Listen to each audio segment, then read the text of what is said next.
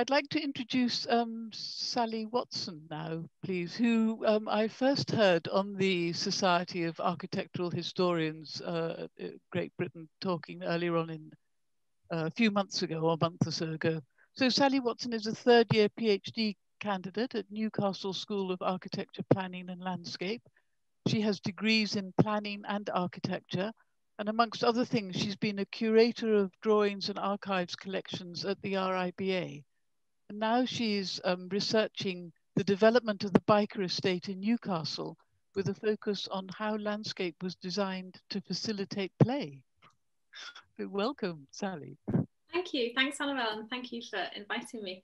Um, it was really lovely, Marie, to see that the British Architects' Lives mentioned, and that's um, Ralph Erskine is, is one of the interviewees in, in that series. And um, I'm not going to to I, haven't actually I have used it, but um, in in this the context of this talk, it I have it doesn't come up. Um, I'm going to talk about the interviews that I've done. So let me just share my screen.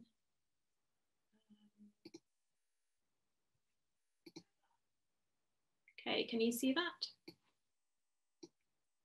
Uh,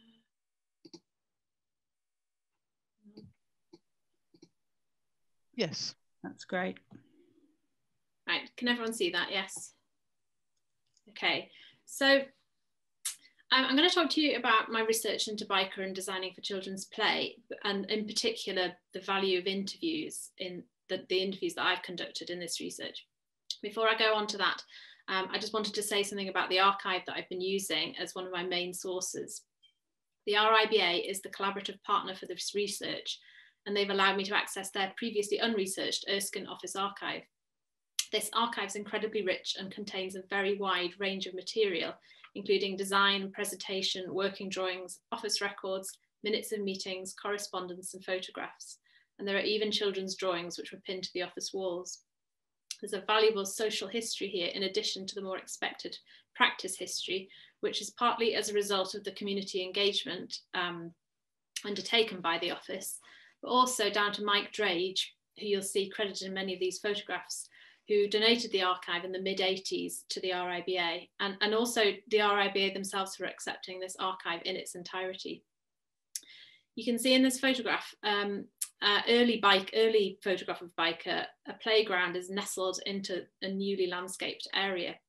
And these playgrounds are mostly gone now. And I wanted to find out more about how they'd come about and, and why they were removed. So no doubt many of you are familiar with the story of Byker, but for those who aren't, um, before I get onto the subject of children and landscape in Byker, I'll tell you a little bit about Byker and describe how the redevelopment came about. Here's some images of old Byker. Um, Byker is a residential area in the east end of Newcastle, close to the river. It was a working class area with terraces of Tyneside flats. These look much like houses from the outside, but actually they're upstairs and downstairs flats with their own front doors they had back lanes and leading onto backyards and they kind of ran in lines down quite steep hills usually down down to the river tyne. By the 60s these were in a really bad state of repair and they lacked bathrooms and modern kitchens and the majority were let out to tenants by landlords who didn't always maintain them very well. The area had a lot of community buildings such as schools and churches and pubs and baths and a very busy central shopping street raby street and as one interviewee that I talked to said, it was a really tough place to grow up, but it was also described by very many people as being a close knit community. And actually, one of the things that I've come across in the archive is discussion of making some of the streets as they're redeveloping the area into play streets. And, and this is quite an interesting, this is a photograph of evidence that that took place. Um, in the kind of while they were waiting for new Byker to come, there was it was there was perceived to be a need to make the kind of current streets safer for children. So Newcastle, like many cities, had ambitious redevelopment plans in the 1960s. Um, the infamous leader of Newcastle City Council, T. Dan Smith, restructured the council and established a powerful planning department under the city planning officer, Wilfred Burns. Early housing schemes in the west of the city involved comprehensive redevelopment where areas were cleared of so-called slum housing and replaced by new housing. People who lived in these areas were dispersed across the city and sometimes further afield. So schematic plans for similar development were drawn up for Byker, alongside plans for an adjacent urban motorway. These were very heavily influenced by Colin Buchanan's Traffic in Towns report, the steering group of which included T. Dan Smith. And in the plan on the left, you can see the proposed motorway, the sort of grey hatched area, um, which was sort of to the north and to the east. And then in the sort of centre, there's sort of secondary road system and access roads leading to residential areas. And on the right, you can see the perimeter block, which is marked out at the northern part of, of Byker. Use my cursor there. Um, and then sort of other kind of various housing densities beneath this. So by the mid to late 60s, there was a backlash over comprehensive redevelopment and a growing call to keep Byker for Byker people. And this culminated in the appointment of Ralph Erskine, a British architect who was based in Sweden. And one of the primary reasons for his appointment was said to be his interest in participation, something which was shared by planners in the council, albeit with a limited sense of what this might involve. And the text here, which comes from the report submitted to the Planning Committee in October 1968, not long after Erskine was approached by the council and prior to his appointment, reads, the committee will undoubtedly wish to respond to the desire of people in Byker to participate in planning of their area, and it is suggested that if this report is approved, they may wish to have it printed and made available on a wide scale in the area, so that the people of Byker may be informed about the proposals, we being able to respond to them. As the work develops, progress reports of this nature will be issued from time to time to ensure, the to ensure continuity of the process of providing information and consultation and you can see Erskine's comment, hurrah, next to it. Um, this was, there were other notes on this report, which he'd written to his daughter and um, Arne Nilsson, who, who visited Byker before they took the job on to, to sort of to do a, their own report on, on what they thought about the area. So Erskine was commissioned in April 1969 and over the course of the next 13 years would go on to build around 2,000 houses and flats in Byker. In response to the call for Byker people to stay in Byker, a phased demolition and building programme was drawn up, and you can see the areas marked out on this drawing on the left. The perimeter block in the council's plan was transformed into the Byker wall, which you can see on the photograph on the right, with a majority of the rest of the area being high density, low rise housing, with parking on the outer edges and a combination of pedestrianised streets and courtyards within. The policy of phased development didn't mean that everyone could move into new Byker. Some areas had already been cleared prior to Erskine's appointment, and new space standards meant that it wasn't possible to provide the same number of residences, but many people were able to stay. However, and this is something that I'll come back to later in the talk, the impact of living in a clearance area for many years, especially for older people, um, was something that was extremely negative but was also something that many children appeared to have enjoyed and perhaps a little too much.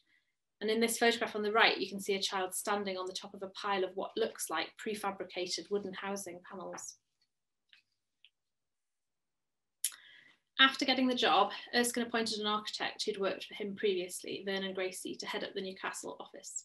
The office itself was based in an old funeral parlour in the centre of the northern part of Byker and had an open door policy, the architects, along with the council, took a variety of different approaches to engaging with residents, including regular meetings where plans were outlined and frustrations were aired.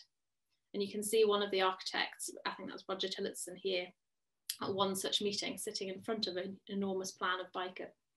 They also engage with other professionals in the area and involve themselves in every aspect of community life. In Erskine's reappraisal of Byker, he also highlights his commitment to paying attention to special groups and this excerpt from the report reads, we would pay special attention to the needs of special groups, small children, teenagers, old people, invalids, etc., and to present extended family structures and possible changes which may take place in these. And it's this focus on children which, which interests me, and, and I'm now going to outline some of my methods for researching this. So the Erskine office included both architects and landscape architects, and they worked very closely together throughout the development, um, partly as many of them have described to me, because it's on this sloping site and because of the nature of, of the sort of layouts of the housing and what they were doing with spaces in between, they had to work very closely together and there were overlaps. Um, in, in their roles really. Um, you can see them sitting outside the office here. Members of the Swedish office would also join them for extended periods. They were part of the council's Byker group who had weekly meetings in the early stages and then monthly meetings later on to talk about every detail of the development. And these meetings included representatives from planning, housing, the engineers department, and at different points, the city architects, public health, parks and recreation, city surveyor, and so on were all involved. And this was really a groundbreaking interdisciplinary project for the council. Um, and I'm not going to talk about it here, but many people that I've talked to who were involved in Byker, it, it, sort of had an impact, that interdisciplinary work had an impact on, on a lot of their subsequent work, whatever it is they went on to do. So while it's possible to write a purely archival history of Byker, I also wanted to know what it was like to work and live in Byker. And how did people feel about this work? And what did they feel to be their achievements and struggles? What did they consider their approach to be to be designing for children? And what did they think of working that working on Byker had meant for their own practice? So I carried out, and I'm still carrying out, uh, semi-structured interviews with professionals who worked on or in Byker. And this has been really invaluable in re revealing many of their different subjective experiences.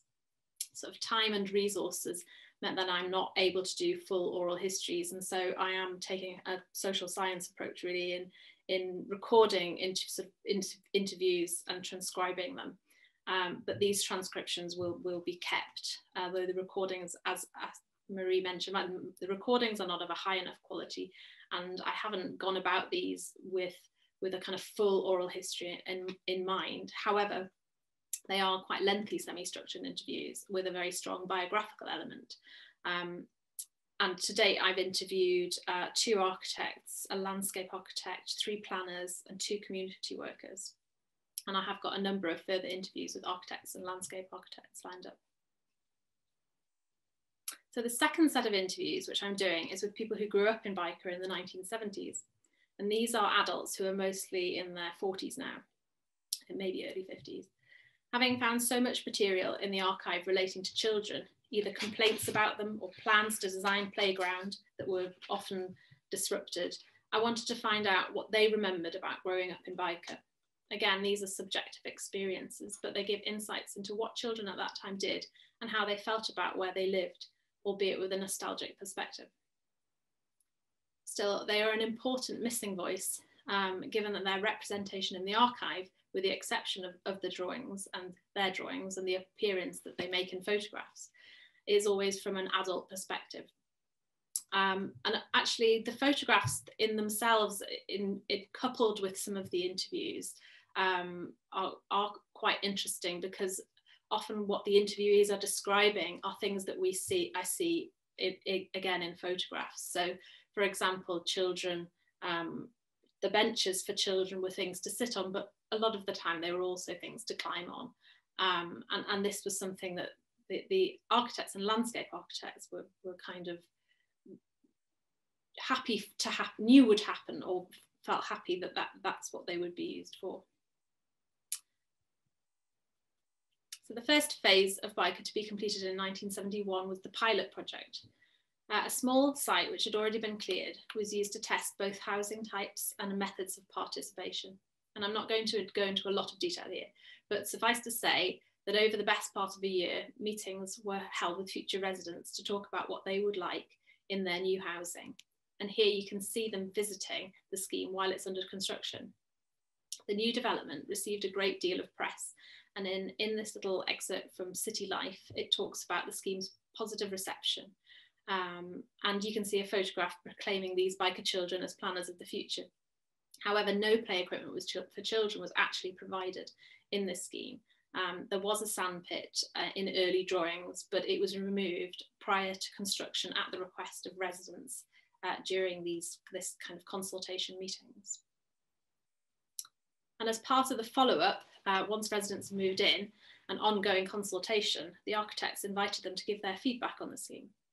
And this resulted in a long list of complaints about problems relating to the built fabric of the scheme and also social problems, which residents considered that there should be physical solutions to. The main complaint was about noise, usually noisy children, but there were also complaints about children playing on the stairs, playing on drain pipes, playing football, running through newly landscaped areas, drawing on the walls of the passageways beneath the flats, balancing on fences, and so on. There are requests for police present, presence and to put gates and fences up in various places. Most of these changes were resisted by the architects and planners, and this would be the first of many points of conflict between adults and children during the development of Byker. So from this point in my talk, I'm going to let my interviewees take over and, and do more of the talking. Um, interviews with adults who grew up in the pilot scheme can provide valuable insights into that child's perspective. And I'm going to read out part of an interview that I carried out with one such person. He was one of the early residents of the scheme and was three or four when he first moved in. He talked about the close knit community and the special occasions like bonfire night and New Year's Eve when everyone would leave their doors open. And talking about things they used to do there, he said, So, what we used to do, those stairs next to us, they would go up to next door's house, which went over the arch. Kids used to sit on the stairs because it was protected from the weather.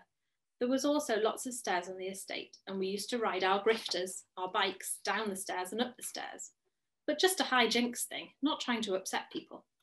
Thinking back on it, it was probably quite dangerous. And there are archways here as well. We used to live next to archways. So, like a house or flat over an archway.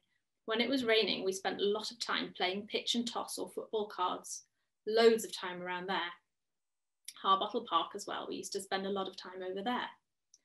There was a lot of building going on at that time, there were terraced houses there all the way down, and you had all the Clydesdale Road up here as well.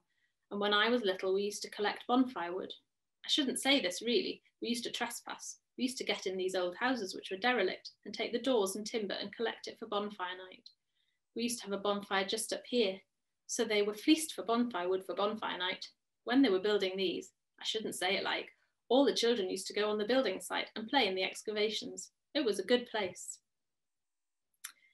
So these insights and, and others help did help make a lot of sense of, of some of the decisions about what happened in Byker and and to get a sense of when when adults who were, were were kind of seeing some children's play which was very innocent the sort of sitting on chairs and chatting and then other children's play which was kind of highly destructive and sometimes um, dangerous so this jumping forwards is now to the late 70s. This is Dunn Terrace, which was completed in 1978. Now, play structures for young children were provided in this scheme, and I spoke to one former resident who'd moved in there into a new house when he was about four. And he had very detailed and very happy memories of his childhood there. And he described these play areas as follows. In this one here, there's a gap here, there's no house, so there's a play area here, which was full of little wooden huts, which were all multicoloured, brightly coloured. There was tables, but the tables were all really small. They were only for kids, because it was basically impossible for adults to get inside these little huts. They were round like this with little windows, fantastic. They were basically the sort of thing you'd pay a lot of money for to have in your posh garden in Jesmond, and they were just outside our houses. And then in this little bit, there was a boat, a wooden boat, which was enormous, I remember, and we slowly destroyed this stuff over 10 years. And one bit of wood would get damaged in the roof, the water's coming in, and it wouldn't get repaired. And then we'd realise you could pick bits of it up and use it as something else and build something else. And things got slowly destroyed over about 10 years to about 85, 8, something like that. And it was already by that point. I look back and I see the council did nothing. You can understand that it cost a hell of a lot of money, and I'm talking about a tiny area here. And it was a huge area. There was loads of playthings all over. And I don't remember any of them getting repaired. And I wander, wander around now, and the planting was gorgeous. Buddleia, my wife hates Buddleia. I still love the smell. It's a bit of a weed and a bit scruffy and ugly, but it was all maintained pretty well to begin with. It smelt gorgeous. There were roses and plants everywhere. It was completely green. They'd put loads of mature trees in, so that was gorgeous. And even by the time I left, it was all starting to go, and now it's just bare soil and concrete. And the themes of destruction and maintenance and care came up repeatedly in other interviews. Now, this is what Jerry Kemp, one of the landscape architects, had to say. We were very much aware, and we kept banging on to the city about this, that we were doing stage one of the design, there's nothing here. We're going to design something, but we expect you, the city, over time to be involved in stages two, three, four. Because what we're doing in stage one, we don't want to see this in 10 years' time. particularly with the planting, because kids being kids, the stuff we had to plant at the start of the scheme was pretty robust and brutal sort of stuff. And we wanted it to be phased out through maintenance over a period of time so that you've got something more considered. And we overplanted trees, for example. We didn't expect all those trees to be retained. And of course, what the city did, the things got to be preserved. And now you've got this bloody problem on site where there's trees that have got to a ridiculous size that shouldn't be there, that should have gone years ago. And we were really naive, but we hoped the city could. And one of the things we pushed for was that we should build a depot in Byker and that Byker was big enough to have its own dedicated staff. Now, the way the city operated its maintenance at the time, it more or less operated on a three year cycle. And once they'd gone through an area, they wouldn't be back for three years. So some of it fell off, it would stay fallen off. Whereas if you had a team based on the site, they could be doing a bit of landscape work, fixing a gate, fixing a gutter, putting a new lock on a door, they would be picking up all the little issues and they'd live on the scheme and they'd know the scheme. We never won that battle with the city. So there are many drawings of play equipment in the archive and photographs of children using some of it. And they were often positioned in the courtyards. And this is an idea which Mike Drage, one of the architects, thought came from Sweden, but perhaps didn't translate very well here. And this is what he said about it. To go back a step further, the Swedish idea of children playing was a lot to do with the things that probably Ralph had done in Sweden and other people had done. It was courtyard housing with a space in the middle and it had its little community building, which was the commun communal laundry.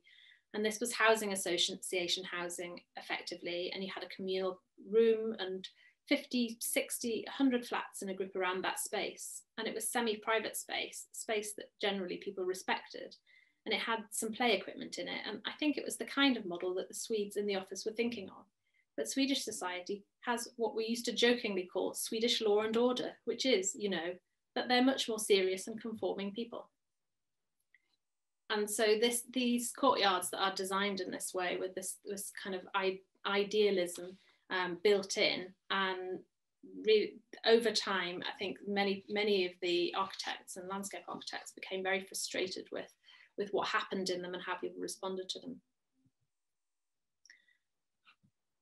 Um, probably the most difficult uh, and controversial play space in Byker was planned for Priory Green. Now, Priory Green actually isn't even green at this point. On the photograph, it's the large area to the left with a circle. You can see a circle in it. And this was supposed to be the main um, green space in Byker, which was to replace Byker Park. And before this scheme was built, there was an adventure playground here just to the southeast of the architect's office. And I actually think that, I can't, I think it's sort of about, this might be it here. It's probably towards the end of its life. And I spoke to um, Dale Bolland, who'd worked in the adventure playground while studying planning at university. And he subsequently worked in the council planning department and worked on Byker. and and really the experience of the adventure playground is it says a lot about how I think the explains a lot about why residents uh, reacted in the way they did to play structures. He says, it was just outside the architect's office on Priory Green, that whole area there. We used to build structures and then they'd get burned down the next night and then we'd build them again. And eventually we got a kind of compromise about how the thing worked. And I remember coming up and I was all naive and stuff like, and I thought you've got to treat all the kids equally and stuff like that. But there were so many kids there and such a wide range that after a week or two, I eventually worked out how you did it was to have an arrangement with the oldest kids. There were all these kids, like hundreds of kids, but I worked out that if you had this arrangement with the older kids, they would control the kids slightly younger, all the way down to the little kids. So me and the older kids, they were friends for ages afterwards. After, after I stopped doing that, they used to, some of the badder ones, used to appear at my house. Um, Dale lived in Byker. Uh, after running away from the police one way or another. Ernie lived in my coal yard for about three days trying to escape the police. But it was always, in those days, it was always Byker kids. Used to do quite a lot of stealing, taking lead off roofs and stuff like that. But they didn't do any violence or anything like that the West End kids were the ones that did the violence, and you wanted to avoid that. But the Byker kids were bad, but in a nice way. He also compared working here to working in another adventure playground earlier on in London. I think the London one was a bit more organised. The kids weren't as wild as kids up here. The kids here were fantastic. They looked after each other. There was a young kid in a wheelchair that the older kids looked after all the time. And I remember them holding this kid up on a roof. They were stripping lead off this roof and they hauled the kid up, the wheelchair kid, up onto the roof just to be part of it. It was incredible. Some of the architects had a different perspective on the adventure playground. Um, Mike Drage describes it here. It was certainly there, just thinking about sitting in the office.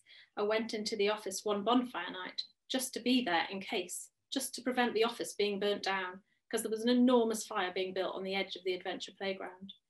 I've got a photograph of that bonfire from my desk in the lean-to in the new office. So that was a few years into my stay in Byker. And it was certainly there, I think, in 71. So it might have been there until Gordon Road was built, because it would have been cleared for that.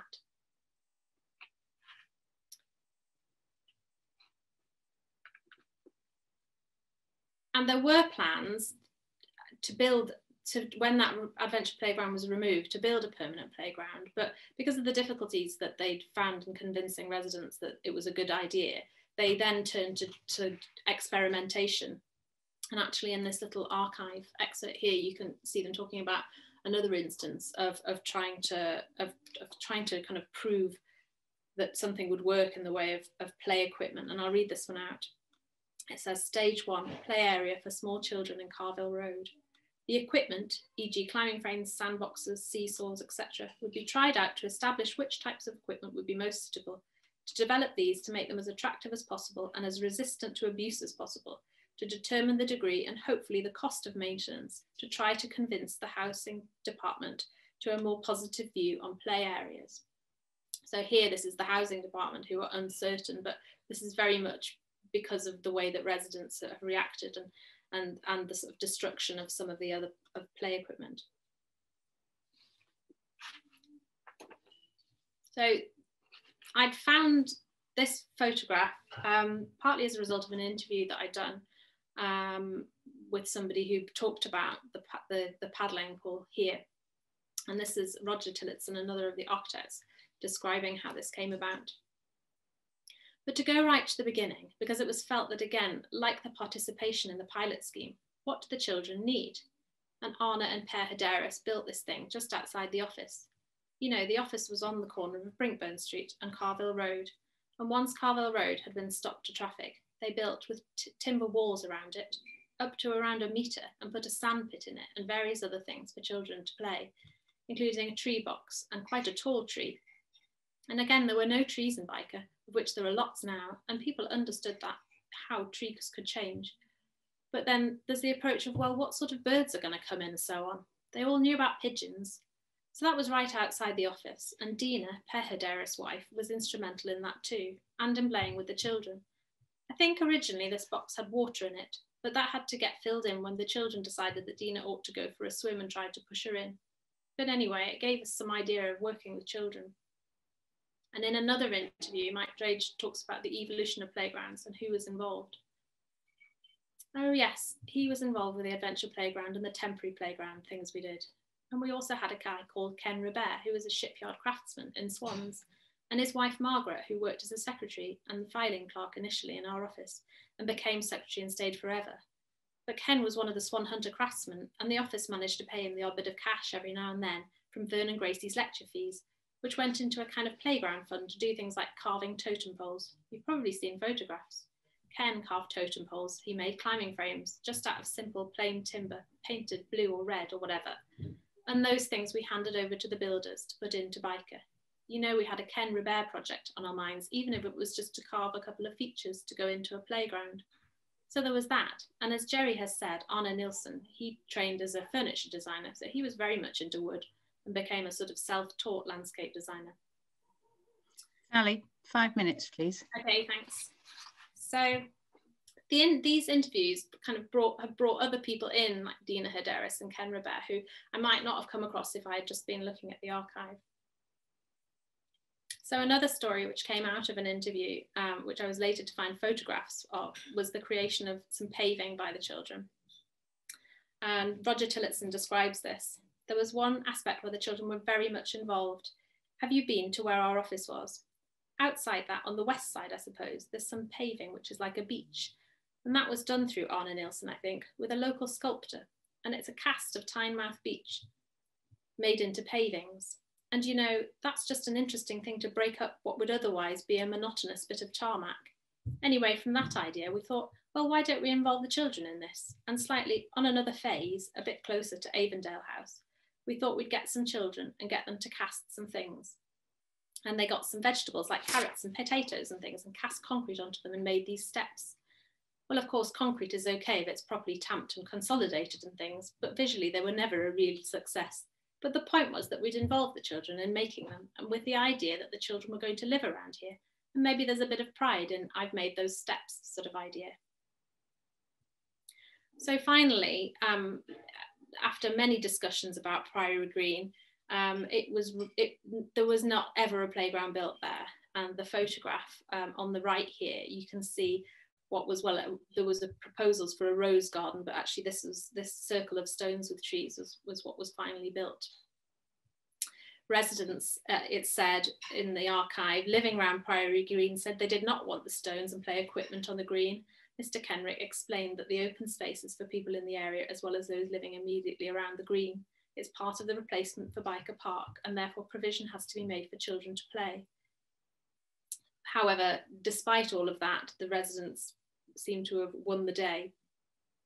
But the photograph on the left is of another play area, not very far away actually, um, which Mike Drage talked about. Um, uh,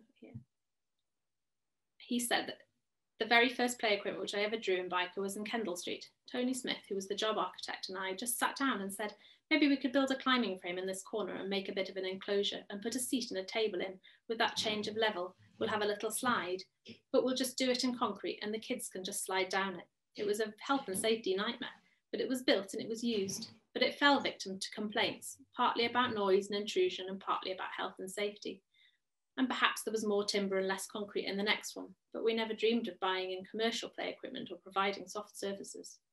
So we could get away with all sorts of things which wouldn't be planned these days.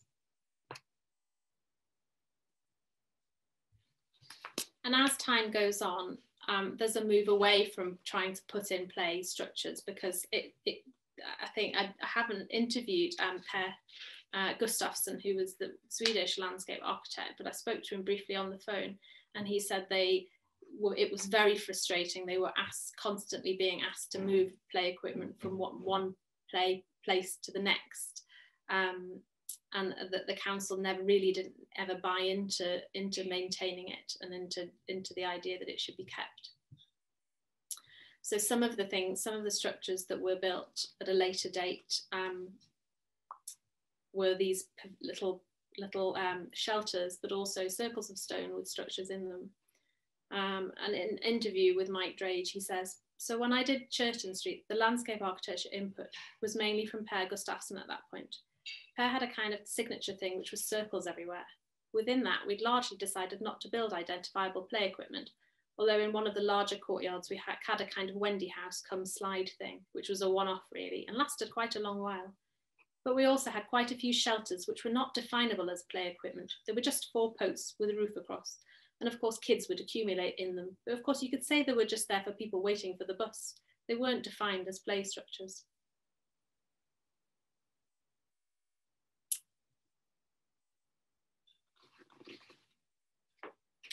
Um, and then finally, um, much of the landscape in Byker, when talking to both the landscape architect, Jerry Kemp, talked a lot about this idea of a playable landscape, but also the children, the adults who were children who grew up there, also themselves described a lot of things that, that wasn't that wasn't play equipment. Um,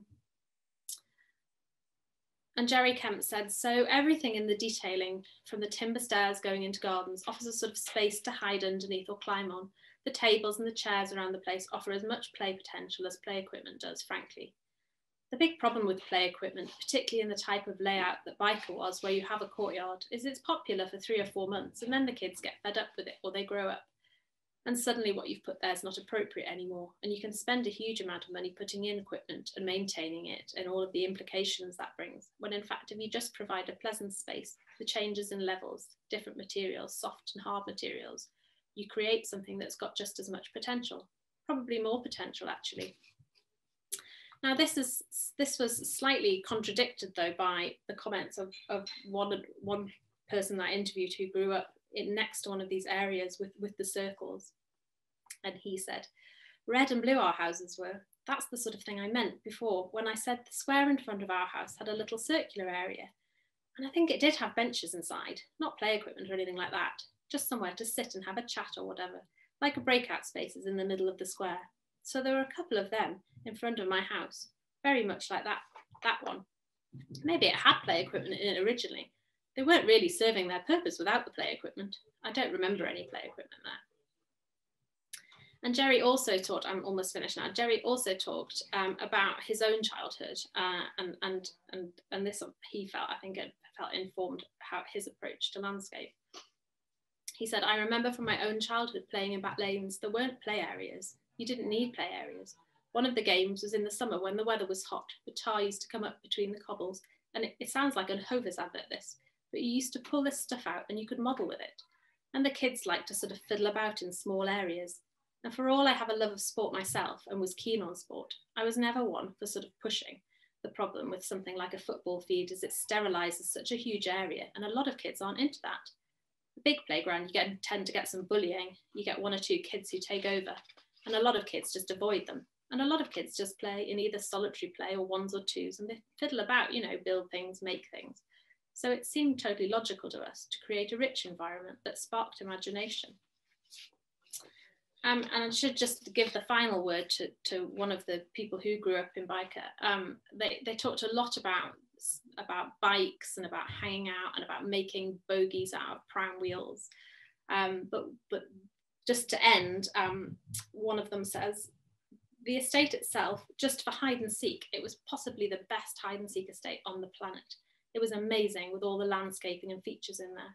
Some of the buildings are on stilts as well, which was brilliant because you could play out in the rain underneath the stilts. We had a property on stilts just aside of my house, so whenever it rained, you'd get 20 kids playing underneath the houses on the stilts. It was brilliant because you could play in the rain. Um, and, and I'll just finish there, but, but really, uh, um, just to, to, to sum up, I found that the, the interviews um, offer a really different different kind of type of material and different way of thinking about some of the archives that I that I've been looking at um, and and really make us think a little bit differently about those houses on stilts that are so maligned um, that maybe do offer something for for children and young people.